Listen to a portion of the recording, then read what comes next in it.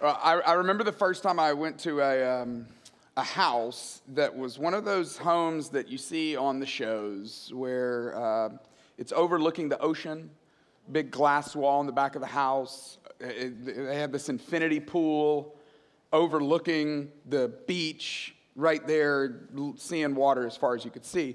And I remember standing in their kitchen, and I don't know why, but I had this thought. I thought, how long would you live here before that becomes normal?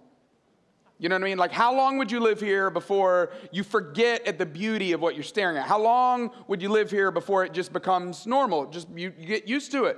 You just forget. This is really awesome, and I forgot. I'm just in here chopping carrots in the kitchen, and I forget about this gorgeous view. I say all that, to, thank you. The child just goes, no. yeah, thank you. I just say all that to say, um, I hope you know, and I hope you never forget how remarkable your church is. This is such a great church. And I get a chance to go see a lot of different churches. This is just my second time here, and I, and I know we've got people coming from a lot of different campuses and people watching online. Everybody that's at the Ramsey Center, I want to say hello to you. So grateful to get to be with you as well. But I, um, I get to see a lot of churches that are just mailing it in. You know, they're just kind of phoning it in. And you all just have such a remarkable group of people, but there's also such a remarkable spirit here. And if this is not your church, and maybe you're just here today and you're a visitor, you're a guest, maybe somebody invited you, I just want you to know I'm not the normal preacher. And so if you don't even like today, I won't be back next week. So come back next week no matter what. But I want everybody to be thinking through who you could invite this Christmas season. They've done all this research on how well people respond to a Christmas invite. Most people, your friends that you work with, the, the people that live in your neighborhood or your apartment complex, they would be so open to attending a service with you over the next couple of weeks. And who knows what God might want to do. And the beauty is, is you're inviting them to be a part of a remarkable church. And so I hope that you'll be thinking about it over the next few minutes as we talk about this, this idea, this series that we're launching. I love this idea of the series. Love came down. Love came down. And it's so easy for us to just grow accustomed to Christmas. It's so easy for us to just go, oh, yeah, here it is. It's Christmas again, right? Uh, Pastor Abe talked about it last week. In fact, he also mentioned that this is puffy vest season. As soon as he said it, I was like, bro, I'm all in. Let's go. I'll rock mine. He's, he was going unzip. I go zip because I'm 43 years old with a dad bod. And so it's, you know, it's just part of the, uh, it's part of the, part of the uniform. Now, I see a couple of you out there with the puffy vest as well. That's awesome. Um, I, I love this sermon, though. What I loved about it is I love, he, t- he talked about the drama and the trauma that we all have, that we're all experiencing. And I really appreciate his awareness, and I've heard it from so many different people on stages at RPC, the awareness that Christmas is not all awesome. It is the most wonderful time of the year. Thank you for the laugh. But there's some challenges, right? Some of you are like, yeah, I'm sitting with them right now, right? I mean, Christmas can be challenging. I feel like Thanksgiving is like just an hors d'oeuvre for Christmas, you know? And some of you are like, whoo, if there is more to come, then I don't know that I can handle it because that one about knocked me out. I mean, this is some, it, honestly, it's, it is a wonderful time of the year, but it's also a reminder of the, some of the dangerous expectations that people do put on, uh, on us, some of the challenging family dynamics that some people have. But also, it reminds us that it's so easy to lose the mystery and the wonder of Christmas. And I know this is a big, um, this is a big, audacious hope that I have for, for this message today as we're kicking off this series. Is my prayer, my hope is that God would reinstill in you the wonder of Christmas. Because what I know is is that the more we age, the more at risk we are to miss the wonder of Christmas.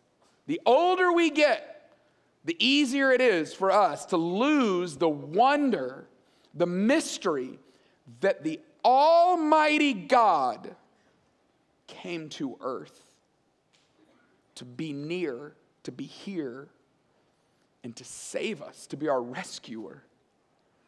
So easy for that to grow old on us. It's so easy for us to lose the joy of that. Uh, here's a picture of me when I was a little kid. This was Christmas for me when I was about seven years old. Uh, any G.I. Joe people out there? Uh, any peanut butter in your stocking people out there? I forgot about this until I saw the picture, but um, I I used to be a big peanut butter fan. I say used to be. I'm still a massive peanut butter fan. But uh, my mom would stick a jar of peanut butter in my stocking, which, you know, I, when I saw that picture, I was like, gosh, simple days, right? Our kids are like, could you throw a, an iPhone in my stocking? I'm like, how about a jar of peanut butter? They're like, I have an allergy. Okay, well, we, we do have a peanut allergy in our family, so I wouldn't do that out of love and caution. But I, I, Christmas, as, when I was a kid, I just remember this season, I've tried to remind myself, just in preparation for this message, just the, the beauty and the joy of being a kid at Christmas. I mean, I remember that feeling so distinctly of sitting at the top of the stairs. My family, we, that I grew up in a wonderful family, we, we didn't have a ton of money. But I remember we we always had this tradition. It was me and my two sisters. We'd sit up there in our pajamas, and our parents would have the music going, and they'd have a couple presents. And you just would feel this like overwhelming sense of wonder of it is that time of year. And then, and then you'd get down there and maybe, I don't know what you opened up for Christmas. Maybe it was like a bike, you know? Maybe it was an American Girl doll. Maybe it was an Atari, if you're old school like that. But I remember I was thinking about my, the, the present that knocked me on the ground, the present that that, that uh, caused me to lose my mind the most was this right here. oh, lovely touch. Thank you. Anybody remember this? First of all, let me just tell you for some of you, like some of you are like, I don't even know who that is or what that is.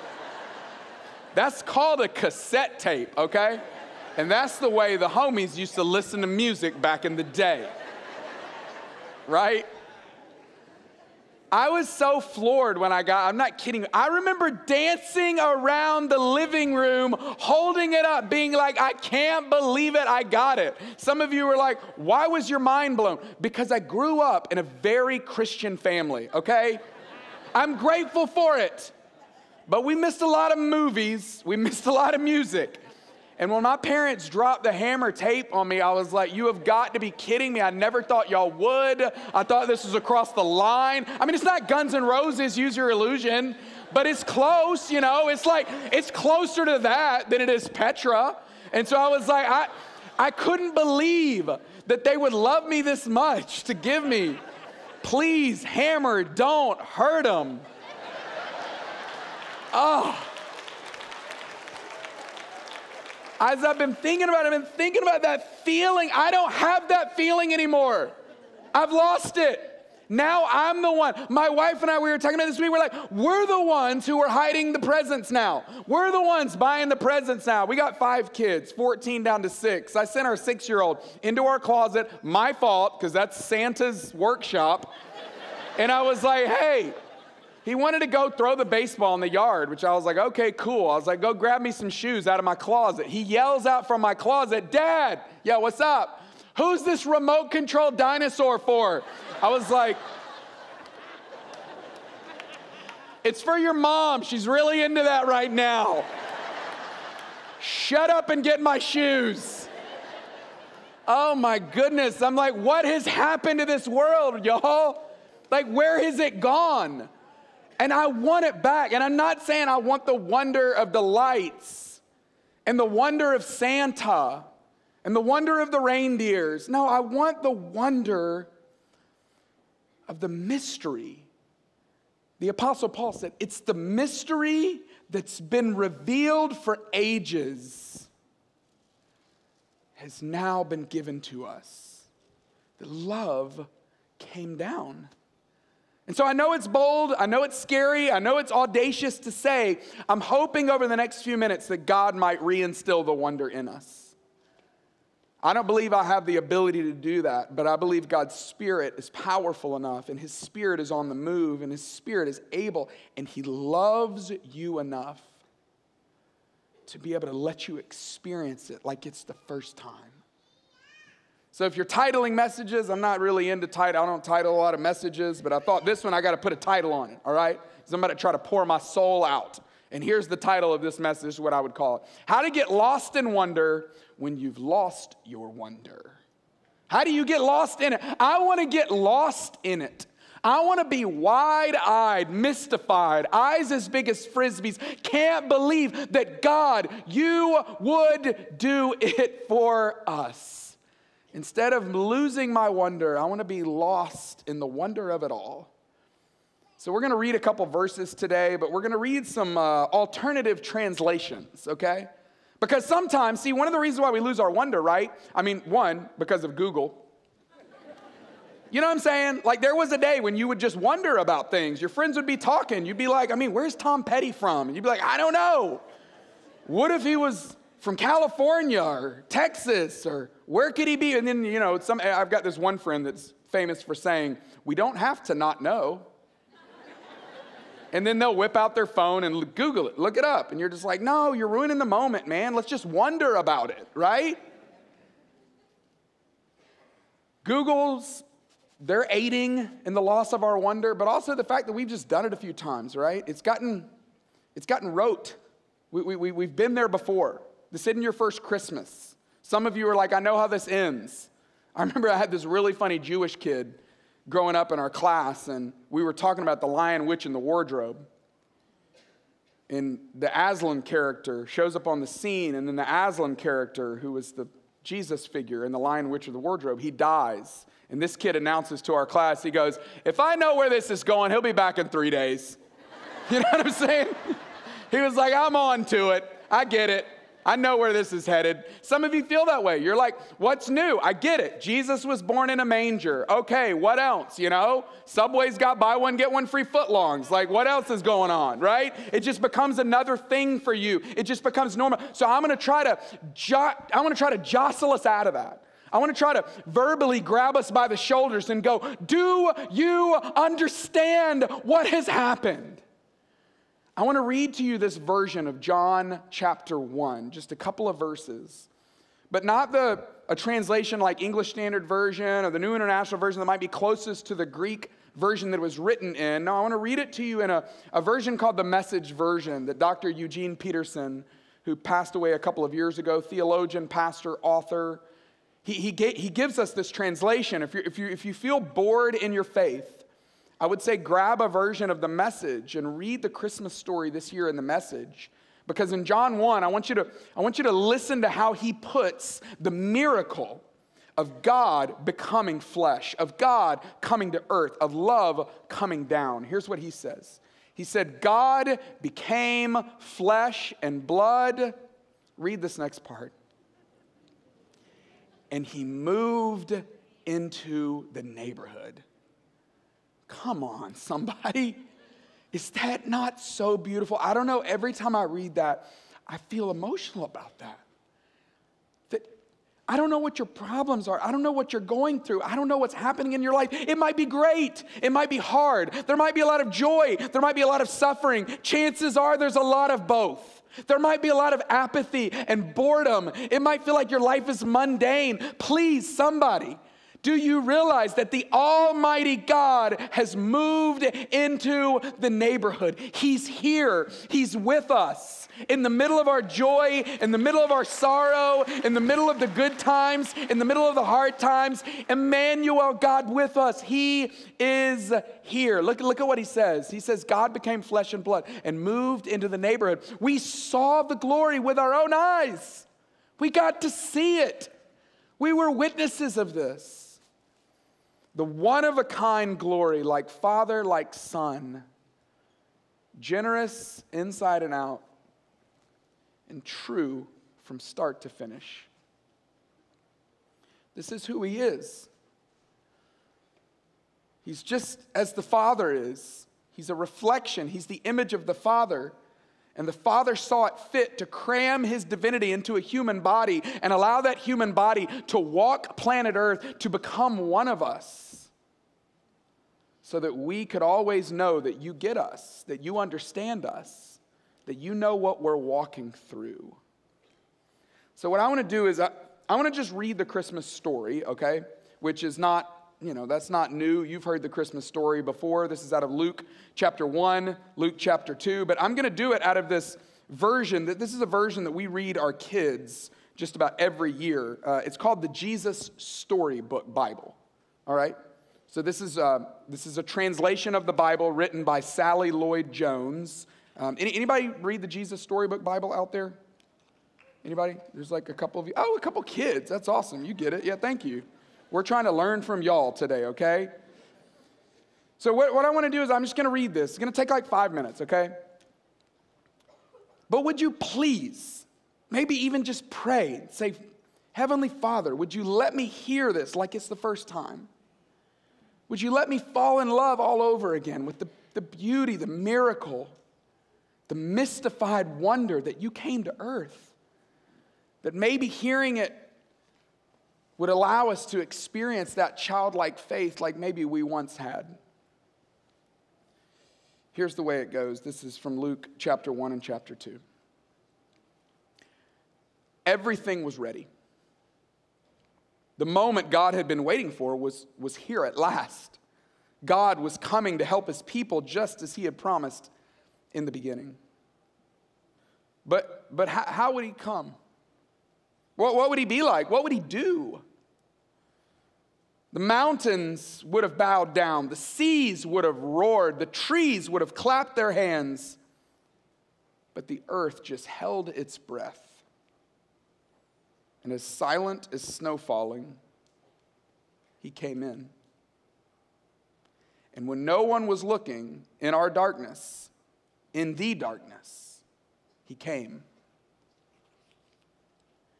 There was a young girl who was engaged to a man named Joseph. Now, Joseph was the great, great, great, great, great grandson of King David. And one morning, this girl was just minding her own business when suddenly a great warrior of light appeared right there in her bedroom. He was Gabriel, he was an angel, a special messenger from heaven. And when she saw the tall, shining man standing there, Mary, of course, was frightened. You don't need to be scared, Gabriel said. God, God is very happy with you. Mary looked around to see if perhaps he was talking to someone else. Mary, Gabriel said, and he laughed with such gladness that Mary's eyes filled with sudden tears. Mary, you're going to have a baby, a little boy, and you will call him Jesus. He is God's own son. He is the one. He's the rescuer. The God who flung planets into space and kept them whirling around and around. The God who made the universe with just one word. The one who could do anything at all was making himself small and coming down as a baby. Wait, God was sending a baby to rescue the world? But, but it's, it's just too wonderful, Mary said. And she felt her heart beating hard. How can this be true? Is anything too wonderful for our God? Gabriel asked. And so Mary trusted God more than what her eyes could see, and she believed. I am God's servant, she said. Whatever God says, I will do. And sure enough, it was just as the angel had said. Nine months later, Mary was almost ready to have her baby. Now, Mary and Joseph had to take a trip to Bethlehem, the town King David was from. And when they reached the little town, they found every room was full, every bed was taken. Go away, the innkeepers told them. There isn't any place for you. Where, where would they stay? I mean, soon Mary's baby would come and they couldn't find anywhere except an old tumble down stable. And so they stayed where the cows and the donkeys and the horses stayed. And right there in the stable, amongst the chickens and the donkeys and the cows, in the quiet of the night, God gave the world his wonderful gift the baby that would change the world was born, his baby son. And Mary and Joseph wrapped him up to keep him warm, and they made a soft bed of straw and used the animal's feeding trough as his cradle. And they gazed in wonder at God's great gift, wrapped in swaddling clothes and lying in a manger. Mary and Joseph named him Jesus, Emmanuel which means God has come to live with us. Because, of course, He had.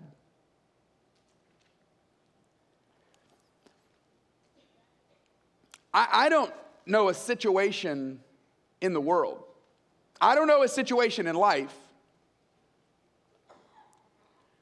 that wouldn't be drastically enhanced knowing that God is right there in the middle of the story. If you're in the middle of a hard story, if you're in the middle of a hard season, if you have questions, if there's uncertainty, if there's a, a, a, lack of just feeling sure, just an uneasiness, I know firsthand how powerful it is to know that the Almighty God is right here now. He's right there in the middle of your story. It's the beauty of love came down, is that He's here. Now, Emmanuel, God with us. How? Well, we'll talk about that the next couple of weeks. What does that mean? We'll talk about that for the next couple of weeks. What do we do with it? We'll get there. But for today, I just wanted to start with this simple idea that the Almighty God stepped onto the scene, that He's here, that He's with us now. Whatever you're in the middle of, whatever you're walking through, that that mystery, the mystery that God has come, the mystery of Emmanuel, God with us, the mystery that he's moved into the neighborhood, that that mystery would inspire us to wonder. There, there's just something powerful about getting lost in that wonder. In fact, I want to try to make it as applicable or practical as possible. I'm, I'm going to give you just three simple things that I think wonder does. Three, as I look at my own life, three ideas that wonder does for me. The first one is this is that wonder opens our heart to faith. Open, it, it opens us. That this idea that we could get lost and wonder how could it be? Can you imagine that he did it? Being in awe of the story can lead us to deepen our faith, right? You, you know that term, having childlike faith. There's something about kids, there's something about the wonder of kids that Jesus himself said, I want that for you. I want you to experience it the way they've experienced it. I want you to understand it the way they're understanding it. But don't you want us to go deeper? Yeah, yeah, I do. But I don't ever want you to lose that childlike faith. Have you ever seen somebody go through something really, really hard? And maybe this is you right now. Maybe this is somebody that you know. Maybe it's somebody that you know through church, or maybe somebody that you know through your family or through your past. Have you ever seen somebody go through something so hard? But they seemed unshakable in the middle of it. You've seen it. You know the power of being rooted in a faith, not a faith that is there for us on the good days. That's wonderful. It's great to have a faith that is that informs us when we get the raise, when we get the promotion, when we buy the new house, when we get engaged, when we get married, those wonderful days of celebration. Having a faith on those days, yes, it is important, but having a faith that can hold us during the hard days, having a faith that, that can hold us even when we feel like we can't hold on. That's the kind of faith that I know I want. That's the kind of faith I know you want. That's the kind of faith I believe God wants for us. And that kind of faith is born and it's grown and it's deepened and it manifests itself through wonder. Through this eyes wide, I can't believe that he would do it. And it takes some wonder because it is a mystery. There was a virgin birth, the Almighty God coming to earth.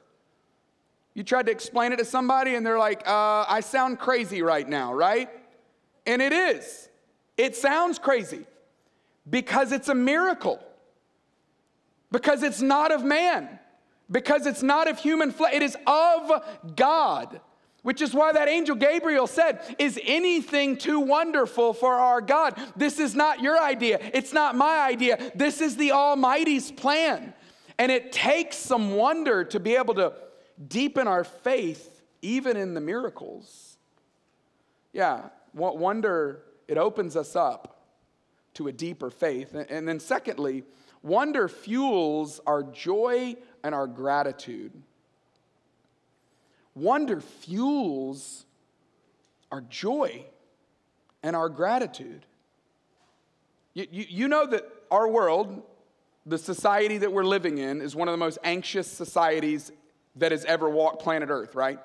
And not just planet Earth, but particularly America. Did you know that studies have shown that when people move to America, their baseline anxiety rises just by living here? Did you know that High school students today have the same level of anxiety as a psychiatric patient at a hospital in the 1950s would have. I, I, I, get it. There is a lot of fear there's a lot of stress, there's a lot of expectation, and there's a lot of anxiety. And I'm not one that would just say, well, just have more faith and it'll fix it all. No, I believe in the power of medicine. I believe in the power of therapy. I believe in the power of getting counseling. I believe all of that is really helpful. But I also believe that gratitude and joy are massively helpful to snap us back to the reality of right now of knowing what do I have right now? Can I be okay with where I am right now? That's what gratitude does. Fear, anxiety, stress, uncertainty, it's all about the future. It's all about the what ifs and the what might and oh no, could it be? And it is, there are times where we got to snap out of that into the reality of, I don't know what's going to happen. I don't know what's out there, but I know what I have right now and I know who has me right now. This is Psalm 8. You, you, remember Psalm 8? Let me read this to you. David, David's writing this. I want you to picture the psalmist like staring at the stars, like a beautiful celestial galaxy of stars. You know, we have so much light pollution these days, and so we, we wouldn't see it the way he would see it, but I can picture him staring at the sky filled with stars where you feel so small, right? And he writes this. He says, When I consider your heavens and the work of your fingers and the moon and the stars that you have set in place. That's wonder. When I consider that, my mind is blown. What, what I, I ask this question what, what is man that you are mindful of him, the Son of Man, that you would care for him? In other words, when I think about all that, I think, who am, who am, who am I? Who am I that I'm on your radar?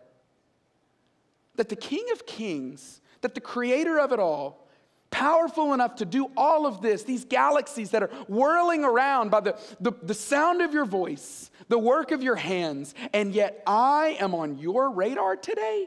Come on. That's crazy. That's wonder. He says, You made him, you made humans a little lower than the heavenly beings, and you crowned us with glory and honor. And I'm not saying we ought to walk around going, God is massively in love with me in a way that it just fuels us being the star of our own show. You know, that's what the kids say these days. It's like, hey, you're playing front and center. You need to play the background a little bit, right? Like you're making this all about you. You're kind of playing the lead role in everything, which we're all tempted to do. So I'm not saying to live our life that way, but I am saying it's okay to be aware of the fact that God knows you, that God knows how many hairs are on your head. God knows your dreams and your hopes and your cares and your worries and your concerns. You are on the radar of the Almighty today. That should cause joy and gratitude and comfort and peace that He's got the whole world in His hand. And if the birds aren't worried about how they're going to get their next meal, Why do humans think that we can add an hour to our day by worrying? Jesus asked. So, snap into the reality by counting your blessings, by growing in your wonder of, I can't believe it. If you would do that for me, what else could you do? That's what wonder does. Wonder opens our heart to faith and it fuels our joy and our gratitude. And wonder inspires us ultimately. It inspires us to humility. It, it inspires us to learn, right? I mean, you remember when you were a kid and you wondered about things and then you went and learned about things. You realized how small you were, but you became obsessed with it and interested in it and curious about it. And our curiosity these days, we, we've killed our curiosity. But instead of being curious about the kind of offense that the Texans run, which I think we should all try to figure that out because it is unbelievable what's happening with the Houston Texans. But instead of being consumed with the sales that are coming up this Christmas, or instead of being consumed with what the influencers are doing to get themselves ready in the morning, like instead of being consumed with the next trend and the next thing, let's get consumed with the only one that really matters. Let's get consumed with Jesus. Do you know He's the only one, He is the only one that is able to, to hold up under the scrutiny of curiosity. He's the only one that's big enough for you to be able to study and understand and learn more about, yet never get to the end.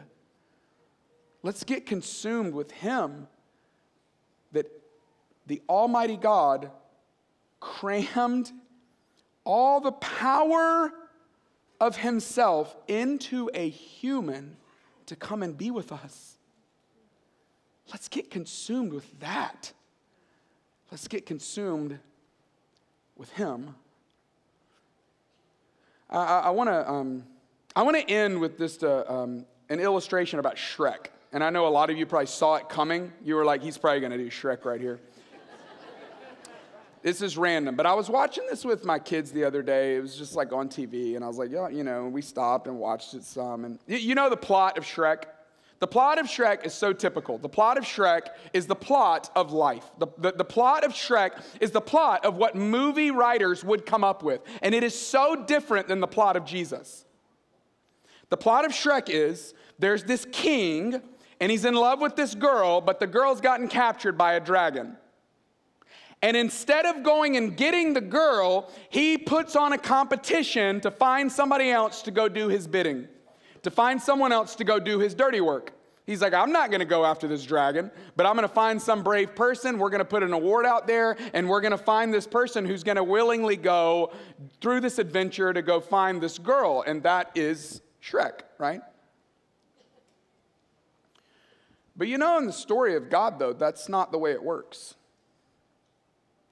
when you were lost, when you were in captivity, God became flesh to come and get you. He didn't send somebody else. Oh, the Trinity, the Father, the Son, the Spirit, all in one said, I'll go. I will go. I will go to rescue you. That's how much He loves you. He came after you. Not to pay you back for something, not to punish you for something, but to win you back. And maybe you've never put your faith in Him, and maybe that's a Maybe that's something for today. Maybe today you'd go, I, I, need to put my faith in Jesus today. Maybe for some of you, you need to come back to Him today. Maybe for some of you, you need to allow God to reinvigorate you with that wide eyed, mystified wonder that the King of Kings came down, that God came low, that the Almighty became small, that God became flesh, that Emmanuel, God with us, is here.